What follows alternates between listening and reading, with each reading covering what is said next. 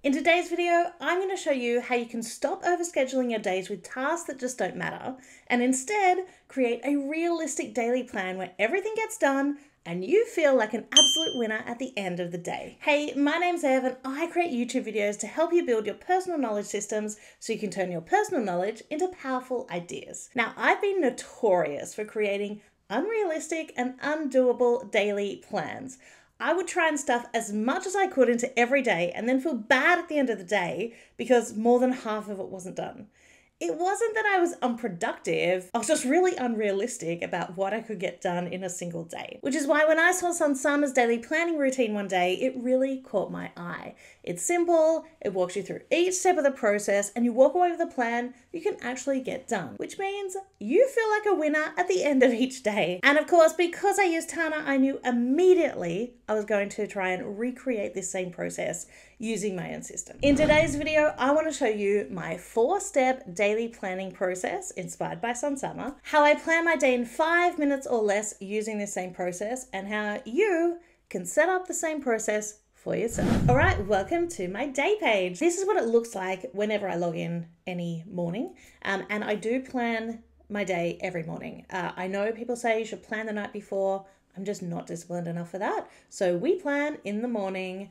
in my day page. So I can open this up and it's got all four of these components, um, which is kind of the, the routine that I go through. And really this takes me about five minutes. So first what I'm gonna do is I'm gonna show you how I do this, the actual process, and then we'll dive into each of the different components. I'll show you what they look like, how to get them set up. First things first is I uh, look at what is left over from yesterday. Okay, so inevitably, any day there's going to be stuff that gets left over that I didn't get done. And so rather than that kind of getting lost, I always bring it up before I plan the day so I can bring it forward. So if I open this up, and all of these, if you have a look at just searches, and I'll show you exactly what these searches look like. Um, but they're basically searches that search for certain things that I need in that particular step. Okay, so this search is looking for anything that has a due date of, of less than today. So you can see there's a couple of things that I have not done yesterday that I needed to do today.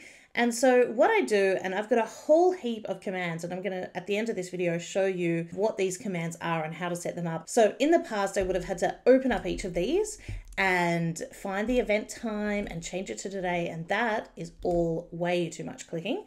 So now all I do is I have a button that is this T button and that says I want to get it done today.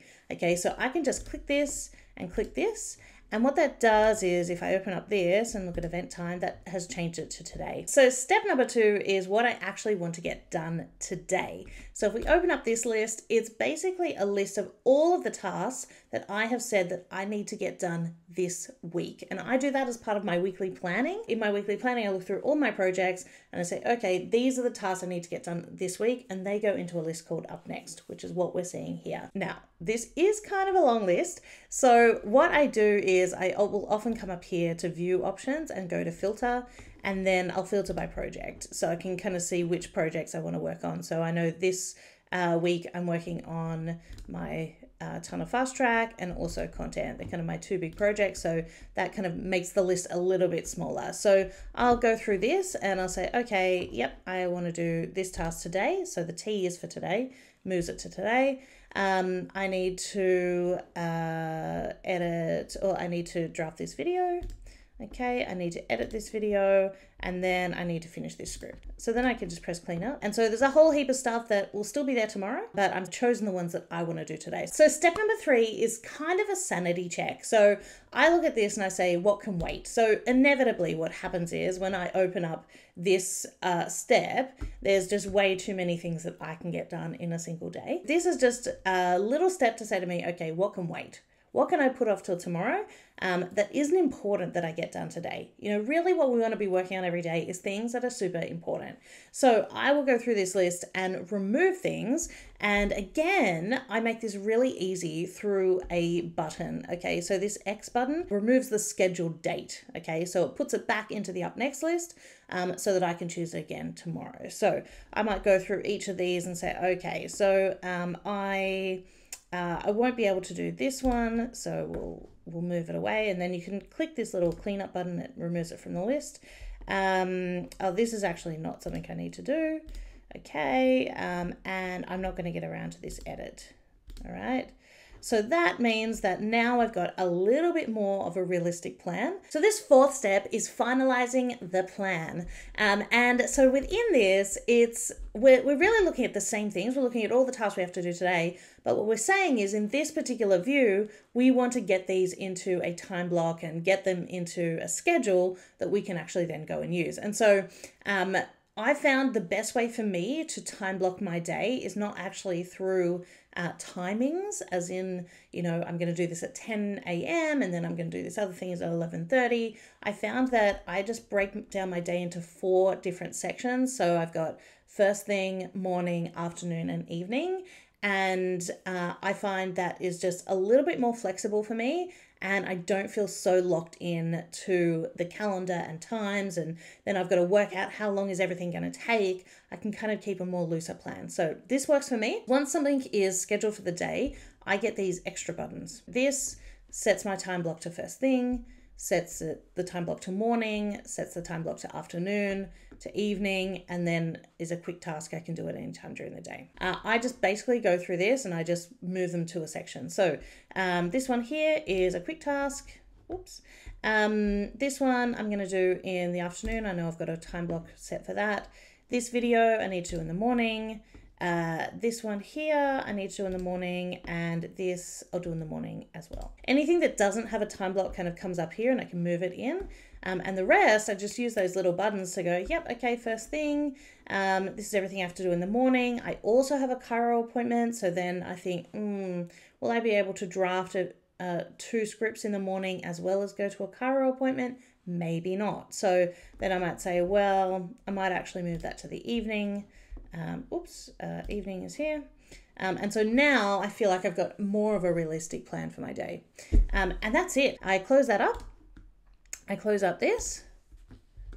I tick it off and say, yes, I plan the day. And so then I've got my agenda down the bottom here, which I usually just command click and I open it up in the sidebar so that I can kind of see that throughout the day and work through it. And the reason this takes less than five minutes is because I have created these searches that brings in each thing that I need uh, to walk me through the process. Okay, so let's have a look at these searches and then I'm going to show you a couple of the commands that I was using uh, that you can set up. If we open up each of these searches, what it's looking for, and if we click the search button and open it up, we're looking for the super tag of task. The next part of the search is this here, which is an LT or a less than value. Okay, so how this gets set up is you would create a field type LT, okay? Then you want to put a field in here. So we're looking for the field event time. And then what we want is for it to find anything that is less than whatever today's date is. Okay, so that's basically what this LT is doing. And then we're simply looking for anything that's not done. And that is the whole search for this first one. What is left over from yesterday? The second search that we're looking at is this one here. What do we actually want to get done today? And in this search, we are looking for a couple of different things, okay? We're looking for, again, tasks, okay? Anything tagged with task. We're looking for the task status of up next, okay? So in my task, I have a status called task status, um, and there's it's either parked, so it's not ready to be done. It's up next, it's in my current week list, it's done or it's cancelled. Then we're looking for the event when the event time is not set. So we only want things to show up in this list if we haven't added them to a date yet. So they're basically ready to go, but not scheduled. And then we're looking for anything that's not done. So in this third search, we're searching for everything that we need to do today. So if we have a look at the search, uh, we're looking for anything that has an event type of grandparent that is not done. The reason that we're we're searching for grandparent here and not parent is that when we search for grandparent, so we're here. Okay, if we were searching for parent, we would be searching for the next level up, which would be plan the day. But because we're searching for grandparent, we're looking for the next level up, which is the actual day.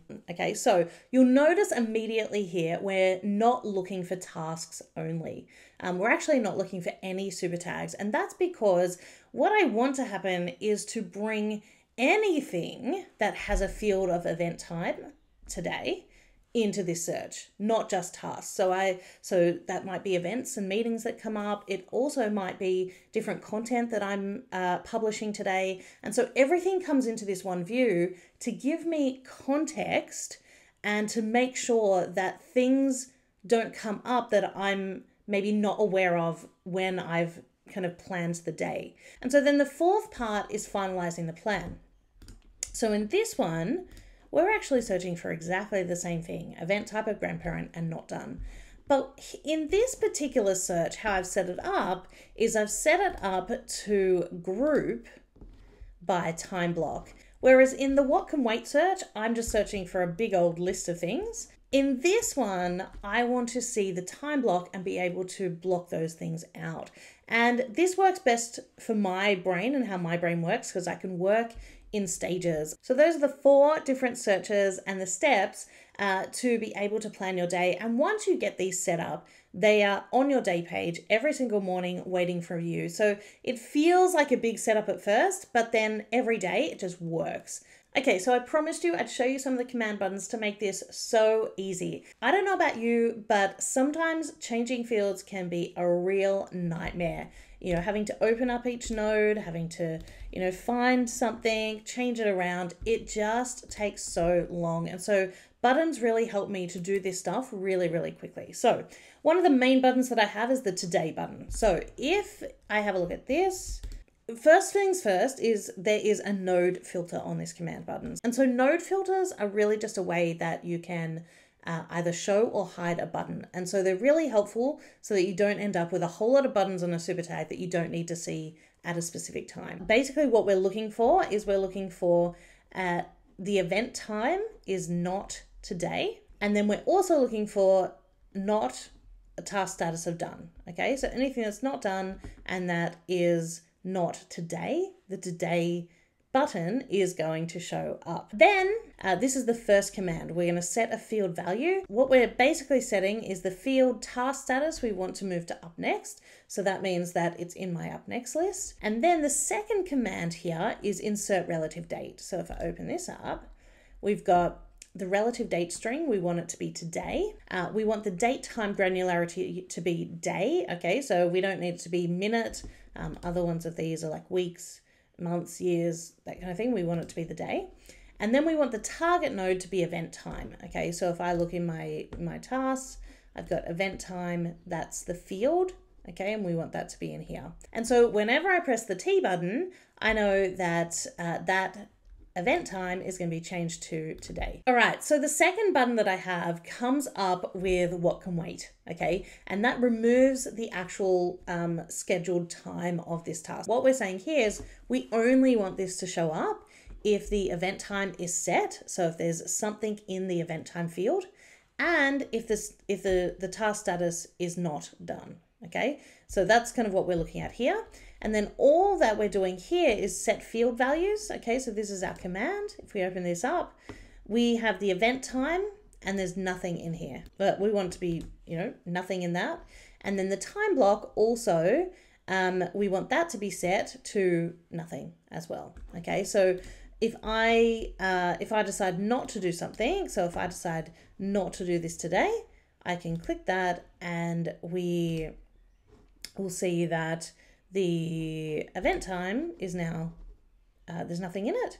Um, and the time block has nothing in it either. All right, so then the last lot of buttons is my time block buttons, and I really, really love these buttons. Now, this is not the only way that you could time block, right? So you could say instead of having a list like this, you could say, well, I want to view this as cards, um, and you could move your cards around, totally legitimate.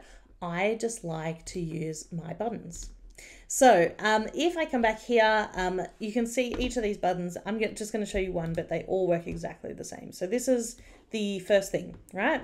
So uh, we're searching for a couple of things here in the node filter. Um, and this is because I want it to show at a very specific time. Okay, so we're searching for basically um, whether the time block is not set or the time block is set to one of the time blocks that this is not. Okay, so if the time block is morning, afternoon, evening, or if it's not set, this first thing button shows up.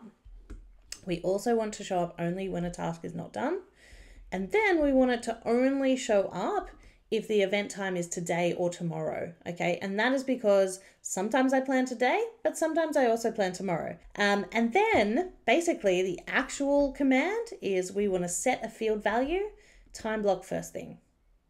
And all of them work exactly the same way, except that the field value is set to either first thing, morning, afternoon, or evening.